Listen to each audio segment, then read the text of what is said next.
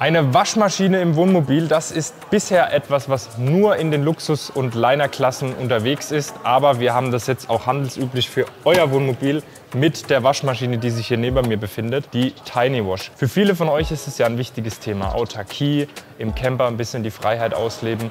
Und oft kommt man dann wieder über den Fall, dass man die Wäsche, die man dabei hat, einfach nicht waschen kann oder tatsächlich dann irgendwo Halt machen muss, um sie zu waschen. Wir sind jetzt einer der Händler, die die offiziell einbauen können. Und jetzt mag der eine oder andere wahrscheinlich denken, ja, das kostet ja richtig viel Geld. Dem ist nicht der Fall. Das ist nämlich gar nicht so teuer, wie ihr das vermutet habt und gar nicht so schwer umzusetzen für euer Wohnmobil. Und das zeigen wir euch im heutigen Video. Seid gespannt. So, starten wir erstmal mit den technischen Daten. Hier habt ihr mal so eine Art Einbaubeispiel von uns. Das ist jetzt hier dieses Montageset, was ihr dazu bekommt. Genauso wird sie auch befestigt in eurem Wohnmobil. Hier ist die Devise, je fester diese Maschine montiert ist, desto weniger Vibration habt ihr, desto besser ist der Einbau und desto besser funktioniert sie auch.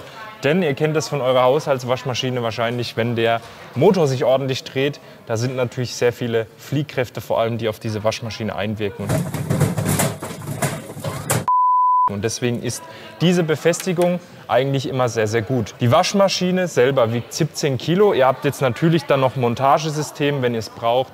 Dann habt ihr eventuell noch Pumpen oder sonst was, was ihr zusätzlich mit einbauen müsst, die Leitungen. Also ihr kommt hier Waschmaschine selber 17 Kilo und mit dem Rest vielleicht noch mal 3 Kilo zusätzlich auf maximal 20 Kilo raus, würde ich jetzt mal sagen. Ne? Wir gucken uns mal die Einbautiefe an. Das sind nämlich insgesamt ja, circa 35 cm. Das wirkt erst gar nicht so krass, aber dadurch, dass dieses Fenster hier nochmal so eine Wölbung hat, sind wir bei 35 cm und schauen wir uns mal den Radius an oder die Breite in dem Fall bei circa 55 cm und die Höhe bei, ich würde jetzt mal schätzen, circa 60 cm, dass ihr es auch mal so euch äh, als ja, ungefähre Maße anschauen könnt. Die genauen technischen Daten, die findet ihr auf der Homepage, packen wir euch aber dann auch noch mal in die Videobeschreibung von dem Ding rein. Jetzt ist natürlich die Frage, was könnt ihr denn überhaupt mit dieser Waschmaschine machen? Ja? Wenn wir die mal anmachen, haben wir verschiedene Programme. Die macht doch immer tolle Geräusche. Es gibt insgesamt, ich glaube, fünf bis sechs Waschprogramme die ihr unterschiedlich wählen könnt. Zum Beispiel hier Smart, Hot, ne, Quick, dann Kids, Smalls. Es gibt sogar die Möglichkeit, einmal nur Luft durchpumpen zu lassen. Und dann habt ihr sogar noch ähm, Trocknerprogramme, wo ihr hier von 30, 60, 90, aber auch 120 Minuten dann tatsächlich wählen könnt.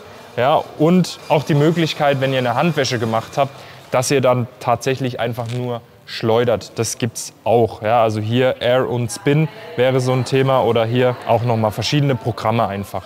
Dann könnt ihr hier zusätzlich noch eure Temperatur wählen. Ihr könnt Dry Plus wählen, dann wird nach dem Waschgang noch mal getrocknet. Ihr könnt Rinse Plus wählen, dann wird einfach noch mal ordentlich durchgeschleudert, dass das noch mal zusätzlich trocknet. Also habt ihr verschiedene Möglichkeiten, das Ganze äh, zu trocknen. Jetzt ist natürlich die Frage, was in so eine Maschine reinpasst, aber natürlich auch der Stromverbrauch und das klären wir jetzt im nächsten Thema. Ich habe jetzt mal Klamotten mitgebracht, die packen wir mal rein in das Ganze. Es ist so, ihr habt eine maximal mögliche Beladung von 3,3 Kilo. Eine normale Haushaltswaschmaschine ist so bei ca. 9 Kilogramm. Ich habe auch mal geguckt tatsächlich, was wiegt denn überhaupt so ein T-Shirt. Also beim T-Shirt sind wir so bei ca. 150 Gramm, bei einem Pullover bei 500 Gramm. Ist jetzt natürlich die Frage, wie groß ist es S, M, XL, Damen, Herren, ist es ein leichter Pullover, ein schwerer Pullover. Also das sind dann auch Erfahrungswerte. 3,3 Kilo hört sich immer so nach so einer fiktiven Zahl an. 9 Kilo ist eine Haushaltswaschmaschine, könnt ihr jetzt euch ungefähr vorstellen, was ihr damit machen könnt. Ich bin ein Typ, der seine Waschmaschine prinzipiell immer überlädt. Bei mir funktioniert das äh, äh, System tatsächlich auch. Aber jetzt packen wir da einfach mal was rein. Ähm, wenn wir von einem, von einem Gewicht pro Hoodie von tatsächlich 500 bis 600 Gramm ausgehen, dann kriegt die hier für die Wäsche auch nur sechs Pullover rein. Und ihr seht auch schon, wenn ich die jetzt hier reinpacke, diese Kleidungsstücke, was ich hier habe, das sind jetzt ganz normale Größen, ähm, haben tatsächlich auch noch eine gewisse Dicke dabei. Dann ist das Ding voll. Zehn T-Shirts würde ich tatsächlich reinkriegen, tatsächlich sogar um die 22, wenn es halt leichte T-Shirts sind. Und ja, das ist jetzt so die Leistung. Jetzt würde ich das Ding zumachen und es würde funktionieren. Empfehlen würde ich natürlich euch trotzdem bei der Nennleistung zu bleiben und auch bei der Maximalkapazität, Nennleistung haben wir so von ca. 2,5 Kilo und eben die maximale Kapazität 3,3 Kilo. Wenn ihr natürlich mehr reinkriegt und es passiert nichts, bleibt es natürlich auch euch überlassen. Beim Trockner ist es so, der hat 1,5 Kilogramm Vermögen. Das heißt, wenn ich hier jetzt auch zu viel rein tue, dann wird einfach nicht richtig getrocknet.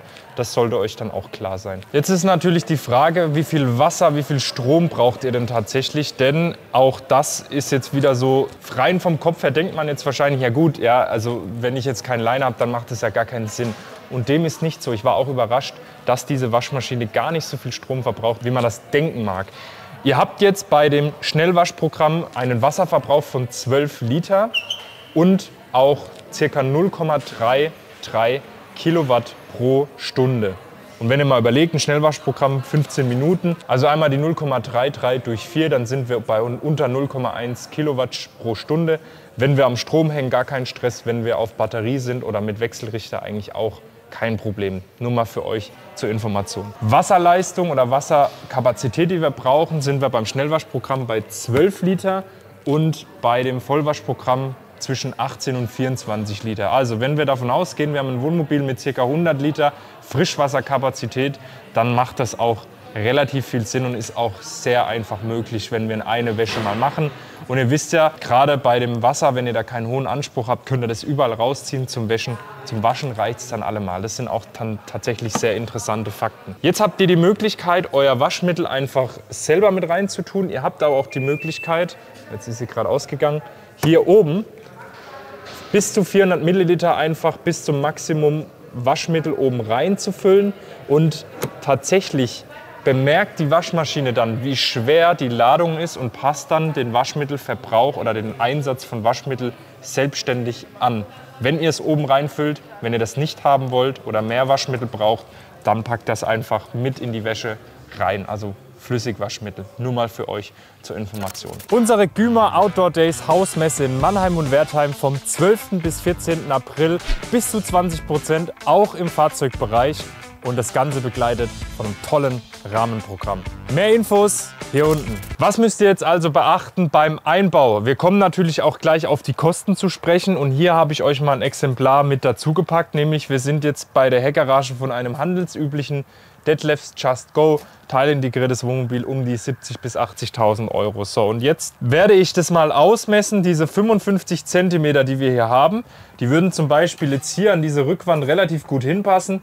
Ist natürlich eher die Seite, wo ich viel belade, deswegen könnte ich sie hinten hinpacken und hätte dann eben diese Einbautiefe von den 37 Zentimetern und da wären wir ungefähr so weit rausstehend. Ich packe euch mal Einbaubeispiele rein. Also der Josh wird sie euch einfach mal einblenden, wie das bei handelsüblichen Wohnmobil auch gelöst werden kann.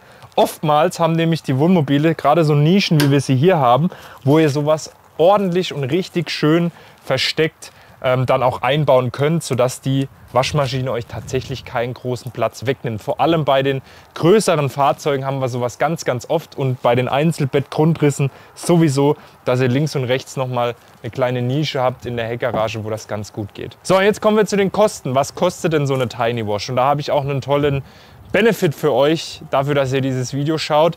Eine Tiny Wash kostet in der normalen weißen Variante 1100 69 Euro und in der Silber-Chrom-Variante 1239 Euro. Das sind ohne die Einbaukosten und die kommen nämlich noch oben drauf. Das ist natürlich individuell, aber ihr könnt jetzt mal schätzungsweise davon ausgehen, je nach Werkstattstundensatz, dass diese Tiny Wash um die 3000 Euro inklusive Einbau kostet, plus minus. Ja, das kann sein, dass das schnell geht. Dieses Montagesystem ist super einfach, dann muss das Ganze noch verkabelt werden. Das sollte eigentlich kein größeres Problem sein. Wenn ihr jetzt Interesse an sowas habt, dann schreibt uns gerne, denn wir haben für unsere Hausmesse ein tolles Angebot. Die Tiny Wash wird an der Hausmesse auch zu besichtigen sein von euch und wir geben den ersten zehn Kunden, die tatsächlich eine Tiny Wash bei uns bestellen, einen Rabatt von 200 Euro auf die Tiny Wash nochmal oben drauf und dann kommen noch die Einbaukosten on top. Das heißt, da könnt ihr euch nochmal was sparen, kriegt nochmal einen schönen Deal von uns für die Hausmesse. Wir freuen uns darauf, wenn ihr bei uns vorbeikommt und euch die Tiny Wash bei uns einbauen lasst. Deswegen ähm, haben wir diesen Hausmesse-Deal für euch gepackt. So, jetzt haben wir noch ein ganz wichtiges Thema. Was passiert denn, wenn meine Tiny Wash auf einmal kaputt geht und ja, ich dafür nichts kann. Und dafür greift dann die Garantie. Ich habe mit dem ja, Geschäftsführer von Tiny Wash gesprochen und er sagte, wenn das Ding kaputt ist, dann wird innerhalb von sieben Tagen, je nach DHL-Versandtagen oder Versanddauer, innerhalb von sieben Tagen das Gerät ausgewechselt. Man bekommt sofort ein Ersatzgerät und das kaputtgegangene Gerät wird dann geprüft, wo der Fehler lag. Und wenn das ein Garantiefall ist, dann wird das zu 100 Prozent übernommen. Ihr kriegt einfach eine neue Waschmaschine und seid dann eure Sorgen los. Und ihr könnt diese Garantie auf fünf Jahre erweitern. Äh, das kostet um die 150 Euro, also drei Jahre nochmal auf die normale Herstellergarantie drauf und habt dann fünf Jahre Garantie auf eure Waschmaschine und werdet sogar auf den Campingplätzen mit so einem Ding beliefert. Ich habe da ein großes Vertrauen, aber vielleicht ist der ein oder andere von euch dabei, der sowas schon mal genutzt hat oder vielleicht auch schon mal einen Garantiefall hatte. Dann könnt ihr euer Feedback gerne mal in die Kommentare schreiben, denn das, was ich bisher gehört habe, klang alles immer sehr vertrauenserweckend und sehr, ja, dass einfach alles immer gut funktioniert hat. Und das würde mich einfach mal interessieren. Wenn ihr eine besitzt, wenn ihr eine benutzt habt, aber auch generell, wie ihr dieses Video findet oder dieses Konzept einer Waschmaschine im Wohnmobil, es würde mich sehr freuen. Und wir freuen uns natürlich, wenn ihr zu unserer Hausmesse kommt, 13. bis 14. April bzw. 12. geht es ja schon los in Mannheim und in Wertheim. Dann könnt ihr auch die Tiny Wash mal anschauen, könnt euch auch beraten lassen. Selbstverständlich, wenn ihr einen Daumen nach oben da lasst, wenn ihr den Kanal abonniert, die Glocke aktiviert, dann verpasst ihr solche Videos nicht mehr und dann sehen wir uns zum nächsten Mal wieder. Bis dann.